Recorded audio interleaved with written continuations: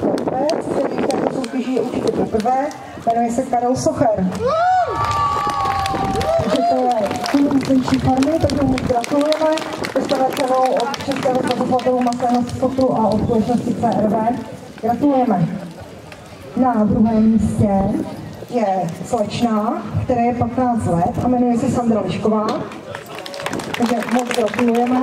Opět celou předává pan Českého fondu masného skotu. Společnost CRV věnovala cenu a jednu cenu věnuje pan inženýr Peter, generální ředitel společnosti jeho český chovatel. A první místo nebudu vyhlašovat já, ale opět eh, toho chovatele, toho juniora, toho budiče na prvním místě označí pan Josef Dvořák, takže ho zase sledujte všichni. On jde. On na to jde zezadu.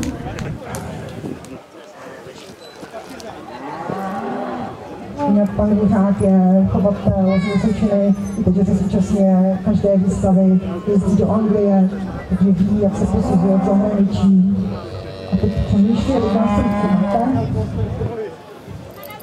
A pan Dvořák označuje na první místo inovace